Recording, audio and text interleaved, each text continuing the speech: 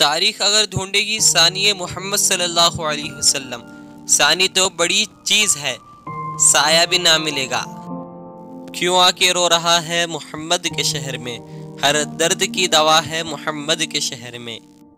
क्या लिखूँ मैं मोहम्मद सल्लल्लाहु अलैहि वसल्लम की शान में? सब कुछ तो लिख दिया है खुदा ने कुरान में। इंसान को ग़ुलाम बनाकर तो हज़ारों बादशाह बन गए हैं। लेकिन ग़ुलाम को इंसान बनाकर जो बादशाह बने हैं, वो हमारे प्यारे नबी मोहम्मद सल्लल्लाहु अलैहि वसल्लम है। मोहब्बत तो दरअसल वो चीज़ है जो हुजूर मोहम्मद सल्लल्लाहु अलैहि वसल्लम ने की है अपनी उम्मत से। नबी करीम सल्लल्लाहु अलैहि वसल्लम के आशिक बिलाल हबशी है, जिनके अरश पे चर्चे होते। बिलाल जब भी अजान देते, सहाबा इश्क में रोते। बिलाल हबशी की आवाज़ सुनो। नबी सल्लल्लाहु अलैहि वसल्लम है, बोलते कुरान सुनो। हमारे हड्डियों से गोश्त जो उतर सकता है, मगर हमारे दिल से नबी करम सल्लल्लाहु अलैहि वसल्लम की मोहब्बत कभी नहीं उतर सकती।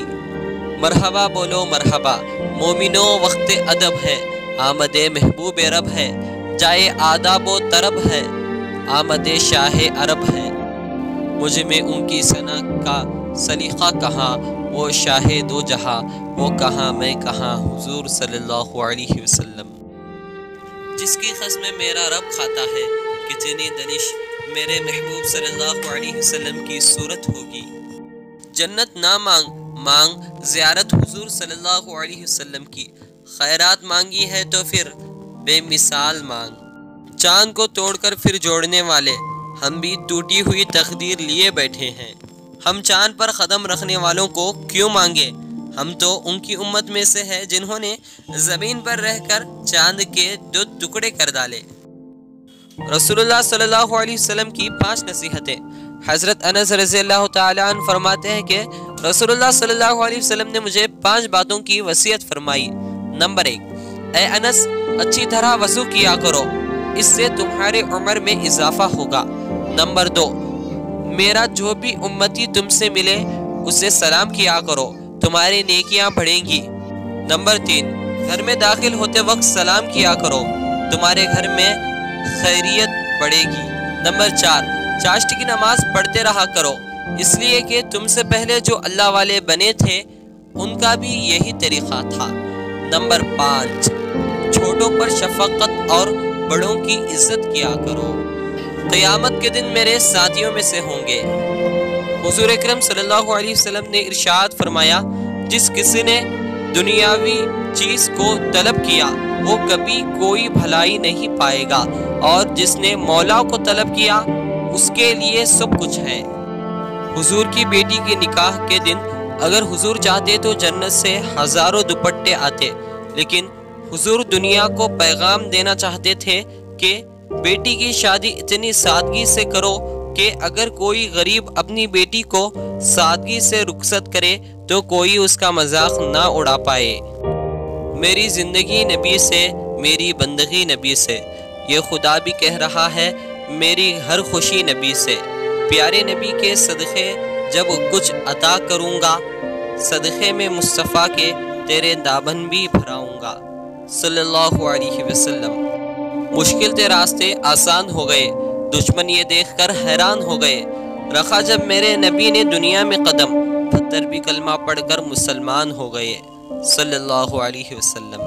जो करे, ऐब बयान आपका, वो मुनाफिक है अल्लाह। ऐब क्या, वो माने ऐब भी आपके ज़ात में नहीं, सल्लल्लाहु अलैहि वसल्लम।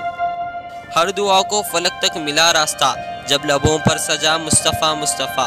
हो गई, रोशनी मिट गए जुल्मतें। नाम जब भी दिया मुस्तफ़ा मुस्तफ़ा। शाम हो या सहर, रात हो या दिन, है वजीफ़ा मेरा, मुस्तफ़ा मुस्तफ़ा, सल्लल्लाहु अलैहि वसल्लम। कभी आऊँ तेरे दर पर, बड़ा आराम है मेरा। ये आँखें मुस्तफ़ा तेरे करम की राह तकती हैं।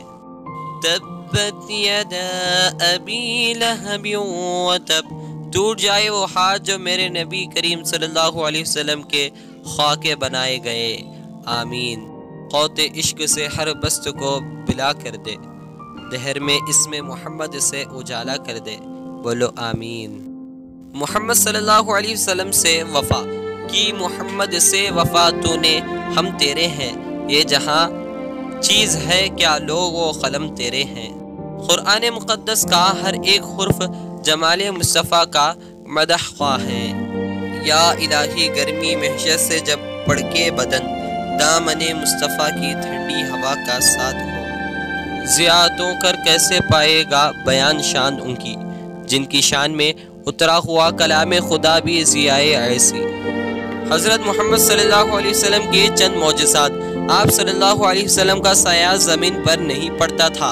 आप सल्लल्लाहु अलैहि वसल्लम पे कभी मक्खी नहीं बैठी। आप सल्लल्लाहु अलैहि वसल्लम को कभी जमाई नहीं आई। आप सल्लल्लाहु अलैहि वसल्लम जैसे आगे देखते थे, वैसे ही पीछे देखते थे। आप सल्लल्लाहु अलैहि वसल्लम जिस जानवर पर सवार हुए, वो कभी ना बढ़का और ना भागा। आप सल्लल्लाहु अलैहि वसल्लम के पसीने में खुशबू थी। आप सल्लल्लाहु अलैहि वसल्लम जिस पानी में अपना लुआब जहन डालते, वो मीठा होता। आप सल्लल्लाहु अलैहि वसल्लम को पहाड़ों और दरख्तों से सलाम की आवाज़ आती। लाखों दरुदो सलाम उन पर, जिनकी बदौलत जिनके वसीले से रहमान मिला कुरान मिला, ईमान मिला। सबसे अच्छी तलब अल्लाह की तलब है, और सबसे अच्छी याद अल्लाह की याद है। सबसे अला वो आला हमारा नबी, सबसे बाला वो आला हमारा नबी। अपने मौला का प्यारा हमारा नबी, दोनों आलम का दूल्हा हमारा नबी। बुझ गए जिसके आगे सभी मशगले शम्मा वो लेकर आया हमारा नबी। मुल्क कौनैन में अम्बिया ताजीदार। ताजीदारों का आका हमारा नबी। खुल्क से अलिया अलिया से रसुल और रसूलों से आला हमारा नबी। जैसे सबका खुदा एक है, वैसे ही उनका उनका तुम्हारा हमारा नबी। कौन देता है देने को मुँह चाहिए, देने वाला सच्चा हमारा नबी। मुस्तफ़ा आपके जैसा कोई आया नहीं। आता भी कैसे जो अल्लाह ताला ने बनाया ही नहीं। कोई सानी नहीं, रब का न मेरे आका का। एक का जिस्म नहीं और एक का साया ही नहीं। हमाजा आके। इस रब ने किसी को भी सजाया ही नहीं।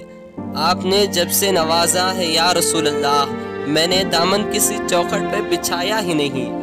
जिसने सरकार के चेहरे की जियारत की है, उसके नज़रों में कोई और समाया ही नहीं। लौट कर आ गया, मक्के से मदीने ना गया।